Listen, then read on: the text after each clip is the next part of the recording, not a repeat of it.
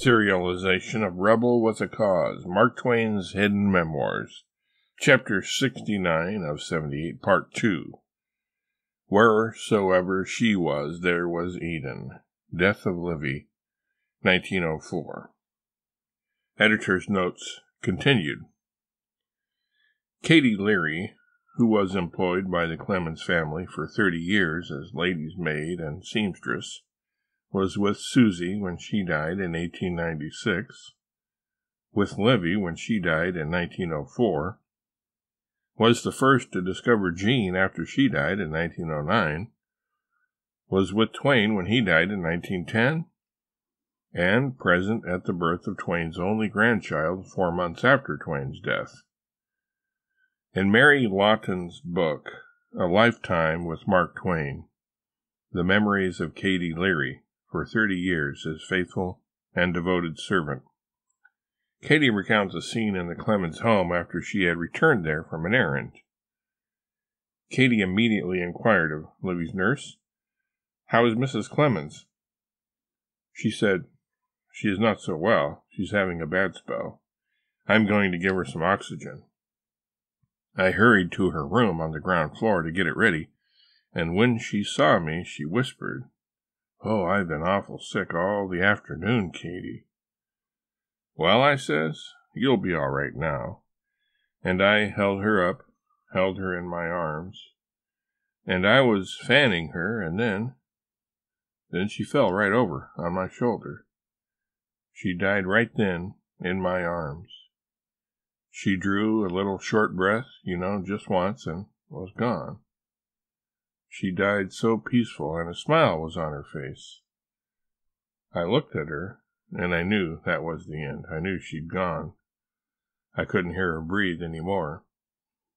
I lay her back on the pillow and ran out to get the family.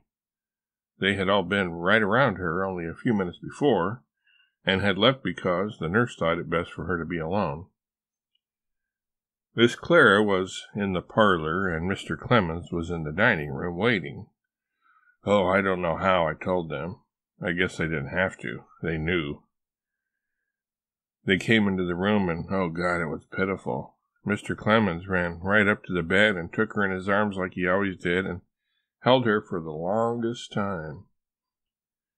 And then he laid her back and he said, How beautiful she is! How young and sweet! And look, she's smiling. It was a pitiful thing to see her there, dead, and him looking at her. Oh, he cried all that time, and Clara and Jean. They put their arms around their father's neck, and they cried, the three of them, as though their hearts would break. And then Clara and Jean, they took their father by the hand, one on each side, and led him away. I dressed Susie for her burial, and I dressed Mrs. Clemens for hers. And then later on, I dressed Jean. In his 1905 sketch, Extracts from Adam's Diary, casting himself and his wife in the roles of the first human pair, Twain has Adam say of Eve, Wheresoever she was, there was Eden. When Twain's youngest daughter, Jean, was nine, he had been receiving invitations to meet various dignitaries when the Emperor of, of Germany invited the Clemens family to dinner.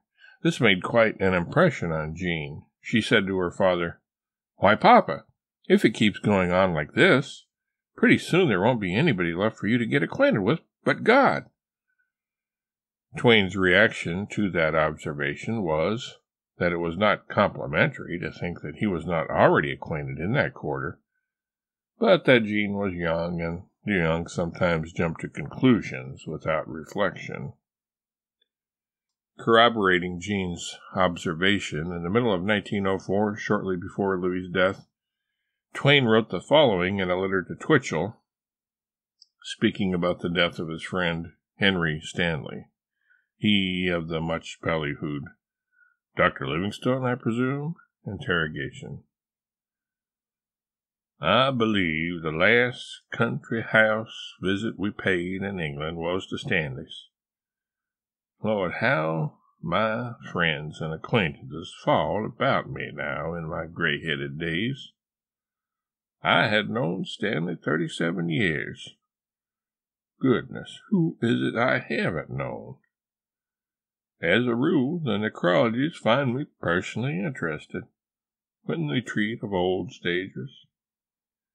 Generally, when a man dies who is worth cabling, it happens that I have run across him somewhere, sometime or other.